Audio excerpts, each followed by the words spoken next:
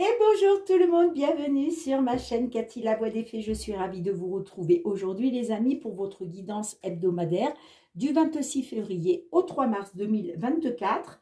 Et aujourd'hui, on accueille nos amis poissons. Bienvenue à vous mes petits poissons. Donc, euh, comme d'habitude, hein, on va aller demander un petit message conseil euh, de la Lune avec l'oracle de la lunologie. Alors, n'oubliez pas, les amis, que ça reste une guidance collective qui ne pourra pas résonner avec la situation de tout le monde. Donc, faites preuve de discernement, c'est très important. Prenez uniquement les messages s'ils résonnent avec votre situation.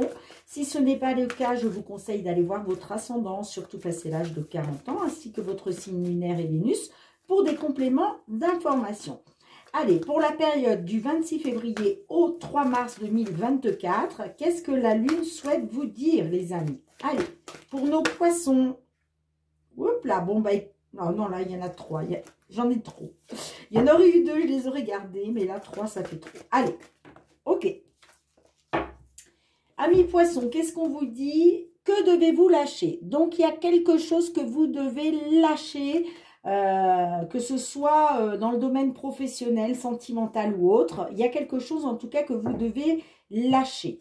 Euh, ça peut être aussi des énergies négatives, hein, bien évidemment. Peut-être que certains d'entre vous, vous êtes dans le négatif et on vous dit bah, que peut-être vous devez lâcher justement ces idées noires, ce négatif. On vous dit un temps de guérison. Bon, d'accord. Oh là, bah, je fais tout tomber, super. Excusez-moi les amis. Hein. Allez, on va tout de suite aller voir avec l'effet de Mademoiselle Lenormand pour la guidance générale, tout domaine confondu. Quels sont les messages que l'on souhaite vous délivrer, amis poissons, dans une situation, que vous soyez signe solaire, ascendant, lunaire ou Vénus, pour cette période allant du 26 février au 3 mars. N'oubliez pas les amis que euh, ce sont des énergies, les énergies bougent, se déplacent. Donc là, on parle d'une période du 26 février au 3 mars. Mais euh, pour certains d'entre vous, hein, ces messages peuvent résonner aussi un petit peu plus tard, euh, un petit peu plus tard sur le mois de mars. Allez, qu'est-ce que l'on souhaite vous dire, amis poissons? Quels sont les messages pour vous? On a la carte, bon, alors il ça nous parle que au niveau d'une stabilité, vous êtes dans une situation pénible. Euh, ça peut nous parler suite à un décès, malheureusement. Sinon, ça peut nous parler que, justement, euh, il y a quelque chose qui se termine, d'accord? Et on a la carte des poissons en dos de deck. Ça nous parle peut-être d'un engagement ou au niveau des finances. Donc, ça peut nous parler effectivement d'une d'une fin de cycle au niveau des finances ou peut-être des, soucis financiers suite à un décès, c'est possible. De toute façon, on va aller voir avec la guidance.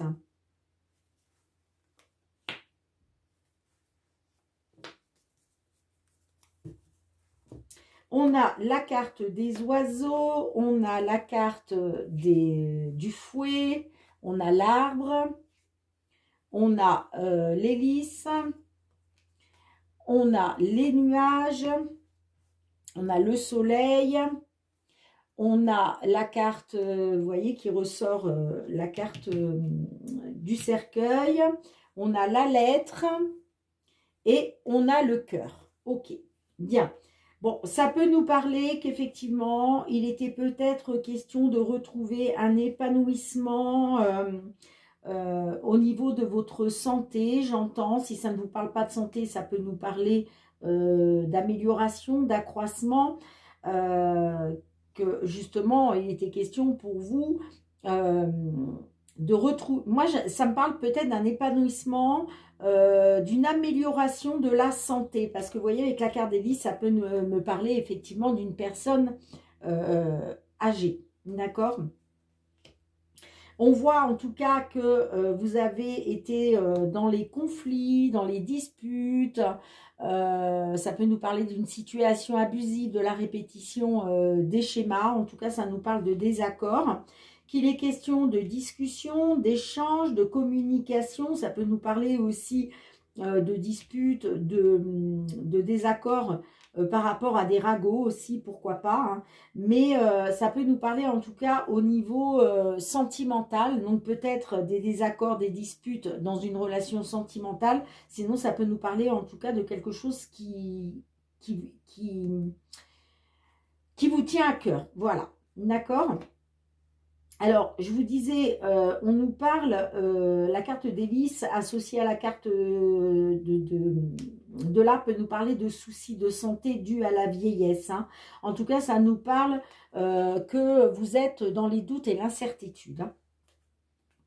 Par rapport peut-être à une amélioration par rapport à votre santé, due à votre âge, ou simplement peut-être d'une amélioration euh, ça peut nous parler d'une différence d'âge dans une, dans une situation sentimentale aussi, hein, pourquoi pas. Hein. Ok. En tout cas, euh, la carte d'hélice me parle que peut-être aussi vous êtes dans une attente, d'accord? L'attente d'une amélioration, ok? Mais il y a une fin de cycle. Alors, la carte du cercueil, c'est quelque chose qui se termine. C'est peut-être pour ça qu'on vous dit que devez-vous lâcher. Il y a quelque chose qui se termine là. Il y a une fin de cycle. Alors, qui dit fin de cycle dit renaissance euh, par la suite. OK. Hein.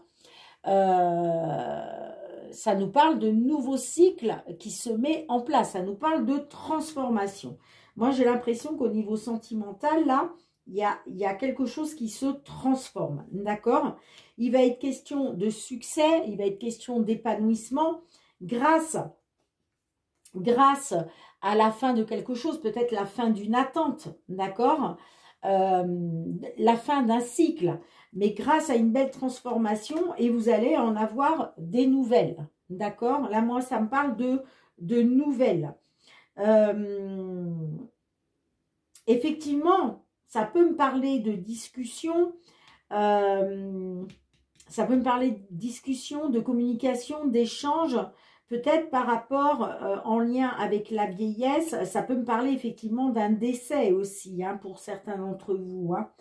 Euh, il est peut-être question, euh, il est peut-être question d'un décès. C'est peut-être pour ça qu'on vous dit un temps de guérison. Vous avez peut-être besoin de, de guérir, de guérir par rapport à un deuil. Voyez, voyez, de faire un deuil. Ça parlera pas à tout le monde, bien évidemment, hein, mais ça peut me parler de faire aussi le deuil d'une euh, de quelque chose qui s'est terminé au niveau sentimental. D'accord? En tout cas, on voit que vous êtes dans les doutes et l'incertitude quant au fait euh, d'une amélioration, quant au fait de retrouver un épanouissement. Hein. Mais moi, j'ai l'impression qu'il euh, y a une amélioration là qui arrive pour vous. Hein. Euh, par rapport à de la communication, par rapport à des échanges. Et de toute façon, vous allez en avoir des nouvelles. D'accord? Il y a des nouvelles qui vont arriver pour vous. Hein. Alors, voyez, ça peut me parler effectivement de finances par rapport au foyer. Ça peut me parler de finances en rapport, en rapport avec le foyer. Ça peut me parler aussi d'une somme d'argent par rapport à une maison, euh, par rapport à un appartement. Euh, ça peut me parler aussi d'un engagement, un engagement par rapport au foyer, vous voyez Parce que je vous parlais aussi du sentimental tout à l'heure. Hein. On voit que de toute façon, il y a eu des énergies négatives. Alors, ça peut nous parler de trahison, de manipulation, de jalousie, euh, soit pour un consultant, soit par rapport à un homme, euh, qui a fait que euh, vous avez été dans les blocages et les obstacles. Alors, ça peut nous parler par rapport à une évolution positive ou un déménagement. OK? Mais pour moi, euh, il va être question de retrouver quand même de la positivité par rapport à quelque chose qui va se terminer. Vous allez en avoir des nouvelles, hein. même si pour l'instant, vous êtes dans les doutes et l'incertitude. Alors, je vais recouvrir certaines cartes. Alors, qu'est-ce que l'on a avec la carte d'hélice? Ça peut nous parler aussi euh, des finances en rapport peut-être avec une décision de justice par rapport à un décès. C'est possible aussi. Hein. Allez, qu'est-ce qu'on a avec la carte d'hélice pour vous? On a le livre fermé. Vous voyez, euh, là, ça nous parle qu'il vous manque des éléments. Euh, il vous manque des informations. Vous attendez peut-être un résultat, soit un résultat d'analyse par rapport à la santé, soit peut-être un résultat par rapport à une décision de justice. C'est possible aussi. Hein. Allez, qu'est-ce qu'on a avec les oiseaux pour vous? Vous voyez, euh, on a la carte de la croix. Donc, là, il va être question de discuter, de d'échanger, de communiquer par rapport à quelque chose qui est pénible, mais ça peut me parler aussi suite à un décès. Hein. Ça peut me parler aussi suite à un décès. Hein. Il y a peut-être des conflits là suite à un décès. Hein. Qu'est-ce que l'on a justement avec la carte du fouet pour vous? On a la carte euh, de la cigogne. La cigogne, vous voyez, me parle euh, de déménagement, d'évolution positive. Il était peut-être question euh, de ça, mais on voit qu'il y a des désaccords hein, par rapport à ça. Hein. Il y a des désaccords. Il y a des, petits conflits là. Et du coup, la situation, elle est pénible pour vous. Il va être question justement de discuter de, de ce qui est pénible pour vous, soit par rapport à un décès, soit par rapport à, une situation en tout cas pénible. Allez, qu'est-ce qu'on a avec le cœur pour vous, les amis? Qu'est-ce que l'on a avec le cœur? On a les poissons. Vous voyez, ça tourne autour d'une somme d'argent. Hein. Peut-être une somme d'argent qui vous tient à cœur. Hein. Il est peut-être question soit d'une somme d'argent en rapport avec le domaine sentimental, par rapport à un déménagement, par rapport à une évolution positive, soit euh, en tout cas, euh, ça peut nous parler d'une somme d'argent effectivement qui vous tient à cœur, hein, ou un engagement qui vous tient à cœur. Hein. Bon, qu'est-ce qu'on a avec la carte du cercueil? Pourquoi le cercueil? On a le nouveau départ. Vous voyez il, va y avoir euh, une transformation pour vous. Hein. On le voit avec le soleil. Hein. Il y a quelque chose qui va s'éclaircir pour vous. Hein. Il va être question euh, de retrouver un épanouissement, un éclaircissement. Hein. Soit par rapport à quelque chose qui s'est terminé au niveau sentimental, soit par rapport à un décès. Là, il est question d'une somme d'argent. Mais en tout cas, les choses vont bouger et vont avancer avec la carte du vaisseau. Ça peut nous parler d'un nouveau départ, que ce soit à l'étranger ou pas. Mais en tout cas, là, il va être question d'un nouveau départ parce que vous allez discuter, vous allez échanger, vous allez communiquer par rapport à quelque chose qui est pénible. Soit par rapport à un décès, soit par rapport à une situation que vous portez comme un fardeau. Qu'est-ce qu'on a avec la carte euh, de la lettre pour vous? Qu'est-ce que l'on a avec la carte de la lettre pour vous? On a euh, les chemins. Les chemins nous parlent, nous parlent d'un choix, d'une décision. Donc là, j'ai l'impression que vous allez avoir des nouvelles d'une décision. Hein. Vous allez avoir des nouvelles d'une décision. Hein. Ouais, vous voyez, on a la carte du cavalier hein, derrière. Le cavalier, alors ça peut nous parler effectivement euh, de nouvelles ou d'une visite par, rapport, par rapport à des échanges avec d'autres personnes. D'accord? Euh, Ça peut être lors d'une réunion, d'une convocation, d'un entretien. Et il va être question de retrouver euh, confiance. Ça peut nous parler aussi euh, de communication avec une personne de confiance. Et en tout cas, il y a, une belle surprise qui arrive, euh, qui arrive vers vous, là, hein, qui va vous permettre le renouveau. Hein. La carte de l'enfant, c'est ça, c'est le renouveau, parce qu'il y a une, une solution qui est trouvée par rapport à une somme d'argent, en rapport avec une femme ou pour une consultante. Et derrière, il est bien question de retrouver une stabilité. D'accord, les amis? Donc, dites-moi en commentaire hein, comment, euh, comment ça résonne euh, pour vous. Hein. Mais il y a quelque chose à lâcher. Là, on termine avec quelque chose. Hein. On met fin à quelque chose. Parce qu'il y a, y, a, y a du mouvement. Il y a un nouveau départ là qui se met. D'ailleurs, je pense que ça sera le, titre. Euh, j'ai envie de dire, nouveau départ, nouveau départ, nouvelle d'une décision, nouveau départ, nouveau départ grâce à une nouvelle de décision, une nouvelle décision. Ouais.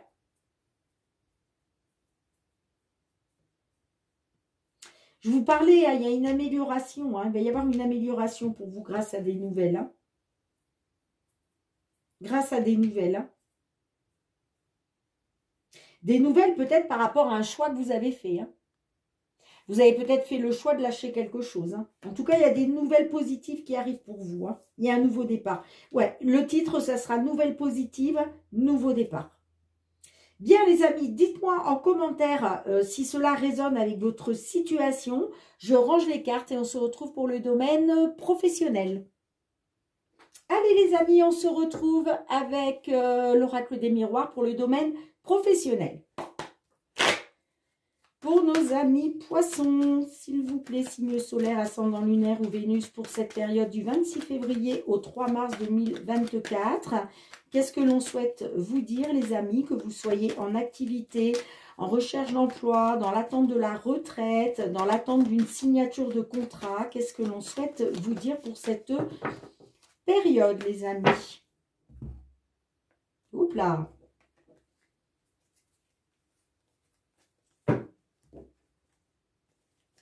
Alors, période du 26 février au 3 mars 2024 pour nos amis poissons. Quels sont les messages pour vous, les amis? Qu'est-ce que l'on souhaite vous dire?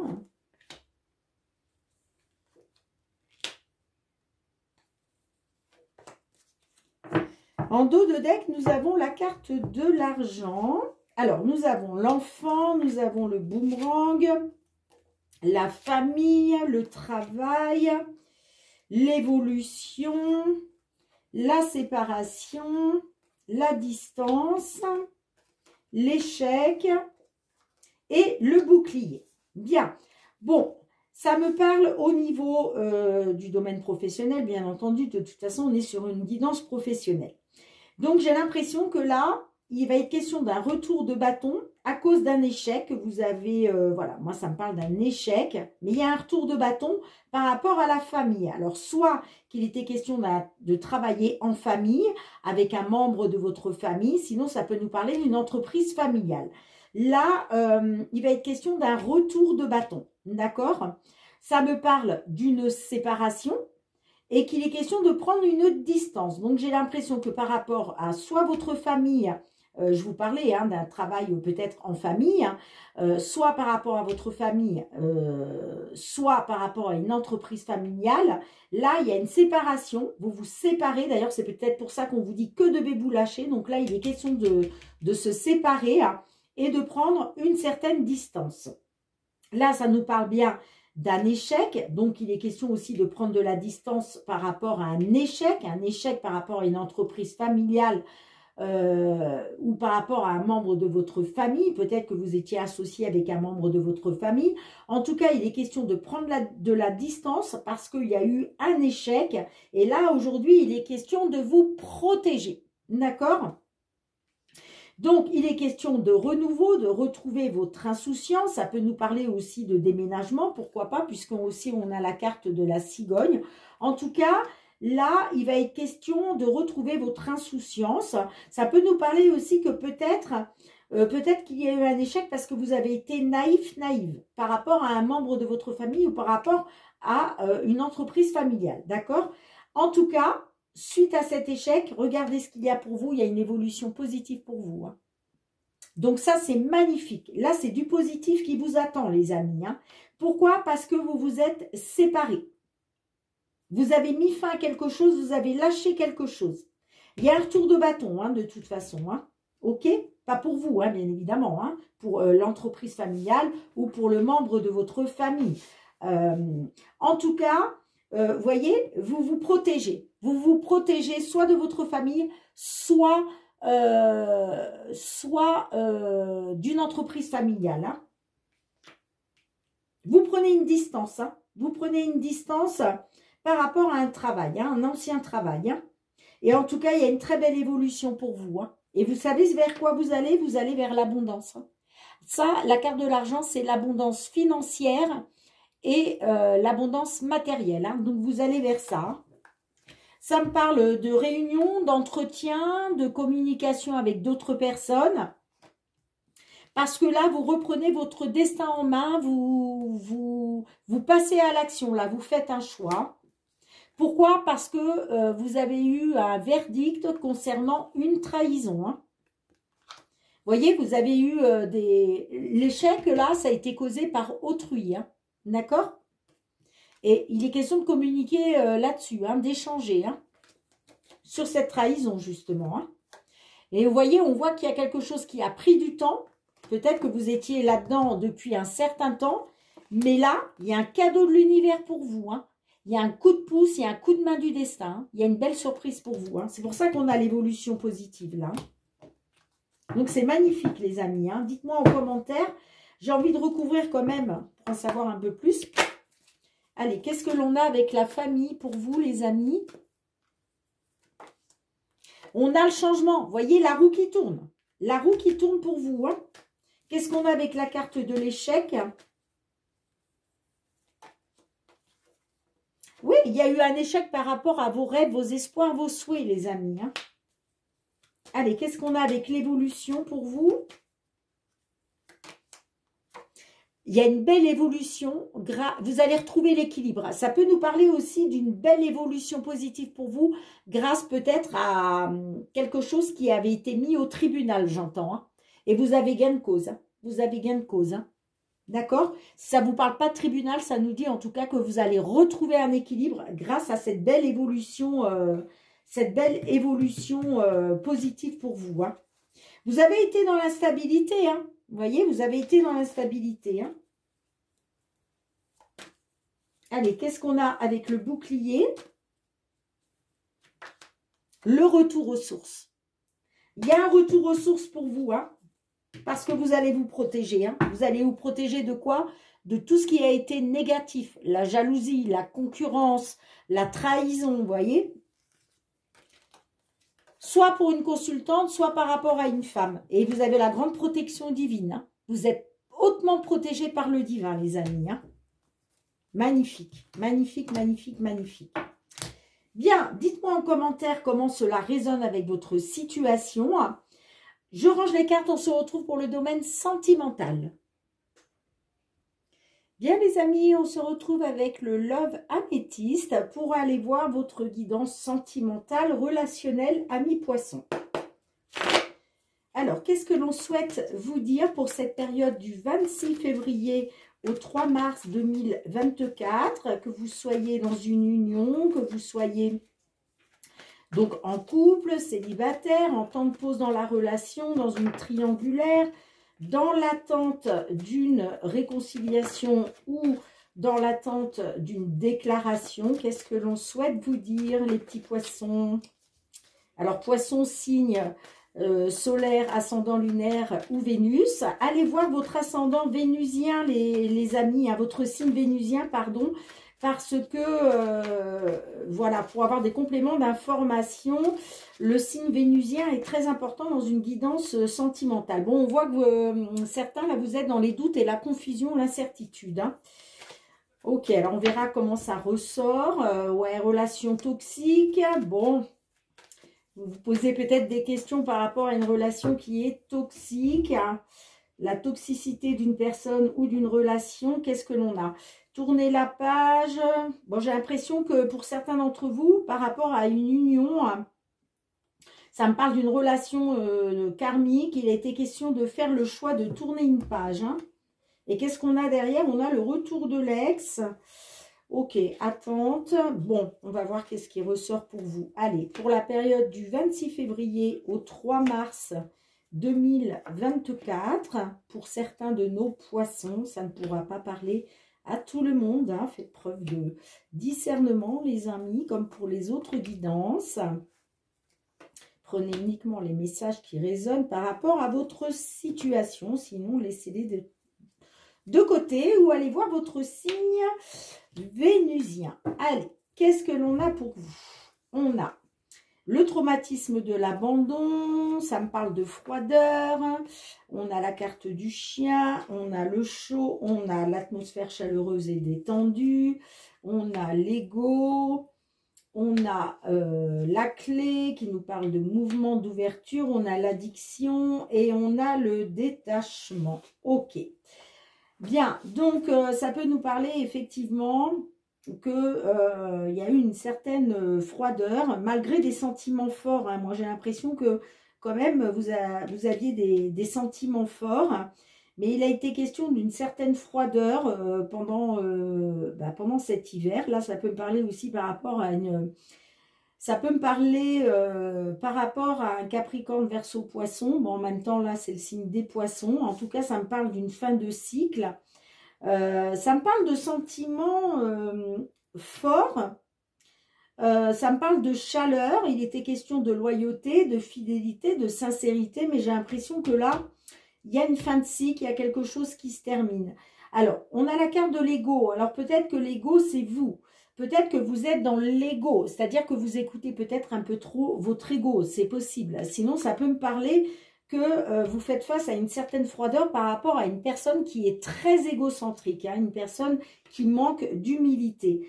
Euh, moi, ça me parle que là, il est question de traumatisme d'abandon, hein, et il est question d'addiction affective. Donc, moi, j'ai l'impression que vous êtes dans la dépendance affective, hein, d'accord? C'est pour ça que vous vous sentez abandonné, là. Alors, là, on nous parle que par rapport à la loyauté, la sincérité, euh, l'intégrité, il est question euh, que les choses bougent et avancent. Il est question d'une ouverture alors peut-être que c'est ce que vous souhaitez, hein, forcément, vous souhaitez que les choses bougent et avancent. Mais moi, ça me parle quand même d'une personne qui est très, très égocentrique. Hein. Mais euh, euh, ça me parle d'obsession, d'addiction affective. C'est peut-être vous, hein. peut-être que vous écoutez votre ego, d'accord? En tout cas, moi, ça me parle euh, qu'il était peut-être question d'obsession par rapport au fait de retrouver une atmosphère chaleureuse et détendue. Euh, mais moi, ça me parle quand même d'un détachement. Hein. d'un détachement. Hein. Euh, ça me parle que par rapport à une certaine ouverture, on voit que vous êtes dans l'addiction, l'obsession affective. Et ça me parle que euh, peut-être il va être question de vous détacher finalement de ça, de cette envie que les choses bougent et avancent. Moi, ça me parle de, détachement. Hein. après, ça peut nous parler, ouais, parce que vous voyez, moi j'ai l'impression que euh, concernant euh, la loyauté, la fidélité, la sincérité, euh, j'ai l'impression que vous êtes, vous vous sentez abandonné. Hein. Et il va être question justement de vous détacher, là, de lâcher prise, de lâcher prise là-dessus. Hein. Moi, je pense que vous vouliez que les choses bougent et avancent. C'est pour ça qu'on vous dit que devez-vous lâcher. Il y a un truc à lâcher là. Et moi, j'ai l'impression qu'on vous dit de lâcher ça. On vous dit de lâcher ça. Parce que, voyez, vous, vous, vous vouliez que les choses bougent et avancent parce que vous avez des sentiments forts pour cette personne. Hein. Je vous l'ai dit, vous êtes dans l'addiction affective. Hein. Donc, il était, peut-être question de retrouver une atmosphère euh, chaleureuse et détendue. Mais j'ai l'impression que là, euh, ouais. Moi, j'ai l'impression que vous allez plus vers un détachement. Hein. Donc, on a le retour de l'ex. Vous voyez, vous étiez dans l'attente. Hein. Vous étiez dans l'attente euh, du retour d'un ex ou d'une ex. Hein. Moi, ça me parle d'une belle transformation. Ça me parle de renouveau, d'un nouveau départ au niveau du, printemps. Alors, certes, peut-être avec une autre personne.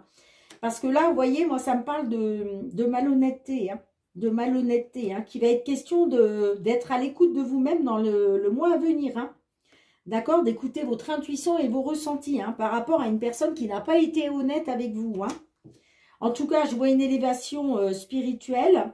Moi, ça me parle de remords et de regrets.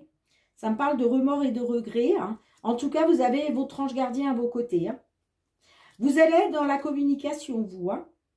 Vous allez dans la communication par rapport peut-être à une attirance que vous avez. Moi, je vois quand même du divertissement. Euh, je vois une invitation à venir pour vous qui va vous permettre de retrouver euh, peut-être une fidélité, une relation stable qui dure dans le temps avec un homme qui est papa. Et j'ai la maman aussi derrière. Hein. Donc, euh, ça peut me parler avec un homme qui est papa pour une maman, pour une consultante qui est maman. D'accord? Bon, Ça me parle quand même de cœur blessé, de break dans la relation parce qu'il y a eu des secrets. Hein. Mais moi, je vois une nouvelle rencontre. Hein. Ouais. Bien, je vais recouvrir certaines cartes, les amis. Alors, pourquoi on a euh, la situation euh, de froideur, là? Qu'est-ce que l'on a avec l'hiver, vous Ça me parle d'âme sœur, voyez euh, Pour vous, c'est une âme sœur, hein mais il y a une certaine froideur. C'est gelé, la situation, elle est gelée, là. Qu'est-ce qu'on a avec l'ego, pour vous? Ouais, voyez, ça me parle d'un jeune homme superficiel, hein, euh, qui n'est pas sérieux. Hein. Ouais, c'est quelqu'un de très égocentrique. Hein. C'est quelqu'un de très égocentrique. Alors, qu'est-ce que l'on a avec l'addiction affective? Qu'est-ce que l'on a avec l'addiction affective? On a la relation instable. Ben oui, hein. vous êtes dans l'addiction affective. Hein. Vous êtes obsédé par cette personne. Mais euh, la relation, elle est instable là. Hein.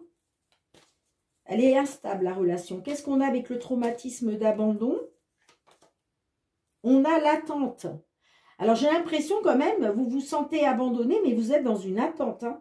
Vous êtes dans une attente, hein, clairement. Hein. Ce que vous voulez, vous, c'est retrouver une atmosphère chaleureuse et détendue. Hein. Alors, ça peut être avec une personne du signe cancer, lion, vierge. Vous êtes peut-être dans l'attente parce que vous pensez que c'est votre âme sœur. Mais en même temps, euh, vous vous accrochez à quelque chose, là, alors qu'on vous dit la relation, elle est instable. Bon, qu'est-ce qu'on a avec l'atmosphère chaleureuse et détendue? Ouais, avec un homme qui est papa, peut-être le père de vos enfants. Hein. Ouais. Donc peut-être effectivement que la relation était instable, mais euh, peut-être que le fait d'être euh, dans l'addiction, l'obsession affective, il va peut-être être question de retrouver une, atmosphère chaleureuse et détendue avec euh, le père de vos enfants, j'entends, ou en tout cas avec une personne qui est papa. En tout cas, on voit que vous êtes dans cette attente. Hein. Mais moi, en même temps, on me dit que cette personne, elle n'est pas sérieuse. Hein. Donc, c'est peut-être ça que vous devez lâcher. Qu'est-ce qu'on a avec la carte de l'automne, là? Qu'est-ce qu'on a avec la carte de l'automne? Il y a peut-être eu un détachement pendant l'automne, hein, parce que la relation était instable. Alors, qu'est-ce qu'on a avec l'automne?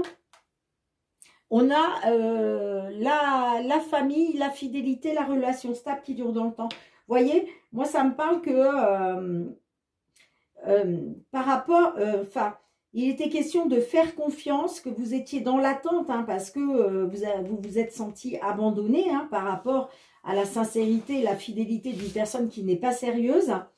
Et là, moi, ça me parle d'un détachement pendant l'automne. Donc, peut-être que vous vous êtes détaché pendant la période de l'automne. Mais là, il va être euh, peut-être question de retrouver... Euh, alors, soit vous vous êtes détaché sur, la relation stable, sur la famille, j'entends. Il y a peut-être eu un détachement, une période de lâcher-prise. Hein. Mais bon, moi, ça me parle bien d'une relation instable. Mais j'ai l'impression quand même que... Euh, il va y avoir, il va être question de retrouver une atmosphère chaleureuse et détendue là, avec un homme qui est papa. Ouais, on voit, on voit que effectivement, euh, il y a eu un temps de pause dans la relation. Hein. Il y a eu des secrets, il y a eu une vie double par rapport à une nouvelle rencontre, j'entends, mais ça me dit aussi que, que ce n'était que passager, que ce n'était qu'un flirt passager. Hein. Il va être question de retrouver du bonheur et de l'harmonie par rapport à une triangulaire. Hein. Mais vous êtes dans les doutes et la confusion par rapport à la toxicité. On vous dit non. On vous dit non par rapport à la euh, trahison. Ouais, il y a de la communication hein, qui va arriver à vous par rapport à un homme amoureux. Hein. Et il va être question d'une seconde chance. Hein. En même temps, on me dit que vous êtes superficiel, vous n'allez pas au, fond des choses. Peut-être parce que justement, euh, vous vous dites que tous les espoirs sont permis concernant un, amour véritable. Hein. Et pourtant, j'ai quand même le froid derrière. Hein. Et j'ai la tromperie et l'adultère. Hein. il va être question de tourner une page. Donc pour moi, vous allez, vous allez faire le choix de, tourner une page. Pour moi, vous allez faire le choix de tourner une page. Vous êtes dans les, vous êtes dans l'attente hein, que les choses bougent et avancent parce que vous avez des, sentiments forts. Hein. Malgré que cet homme-là n'est pas sérieux. Hein. Mais ça me parle que par rapport à la fidélité, à la loyauté, à la sincérité, euh, moi j'ai l'impression que là vous allez vous détacher, vous allez vous, vous allez vous lâcher prise, vous allez lâcher prise sur euh, la famille, sur la fidélité, sur, sur la relation stable qui dure dans le temps. Parce que la relation, elle est instable. Ouais. Moi, j'ai l'impression que vous allez, vous faire le choix de tourner la page. Hein. Et c'est peut-être pour ça qu'on vous dit que devez-vous lâcher. Vous savez que vous devez lâcher quelque chose là. Mais en même temps, ça va passer aussi par un temps de guérison. Hein. Écoutez les amis, dites-moi en commentaire hein, comment cela résonne avec votre situation. Je range les cartes et on se retrouve euh, pour le petit mot de la fin et un petit message du murmure de nos anges. Allez les amis, on va aller voir qu'est-ce que les petits anges ont à vous dire. Allez, un petit message pour nos amis poissons, s'il vous plaît, pour cette période du 26 février au 3 mars. Oups là, eh bien, écoutez, il y en a deux. Vous êtes gâtés, les amis.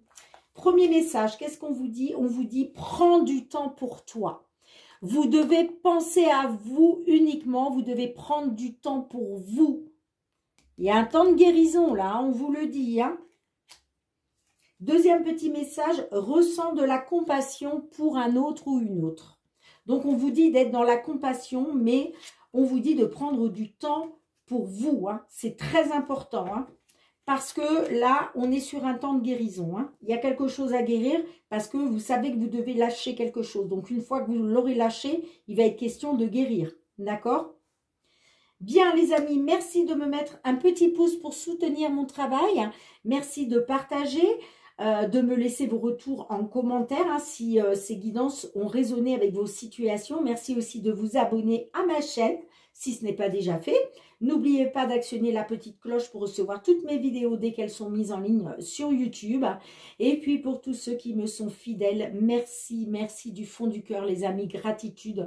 Gratitude pour vos likes, pour le soutien à ma chaîne, pour votre bienveillance à mon égard et votre fidélité. On se retrouve très bientôt les amis pour de nouvelles guidances. En attendant, prenez bien soin de vous et de vos proches. Je vous fais plein de gros gros bisous et je vous dis à très bientôt. Bye bye